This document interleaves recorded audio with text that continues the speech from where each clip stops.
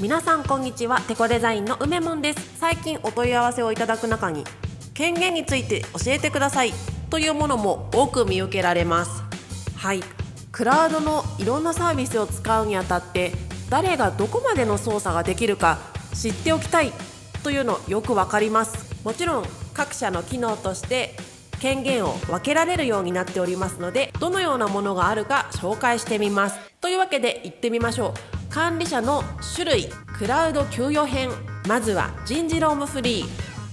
アカウント発行者という全知全能のような管理者権限が1つあります。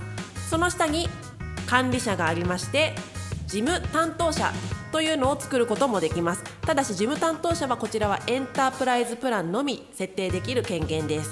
そして一般の従業員となっております。マネーフォワードクラウド給与。こちらはとってもシンプルで給与担当者か普通の従業員。これだけです。ではジョブ間の給与はどうでしょうか？管理者というものと運用担当者。そして社員と言われる一般の従業員がいます。具体的にどのように操作の範囲が違ってくるのか。こちらは違う動画で詳しくお伝えしたいと思います。お楽しみに。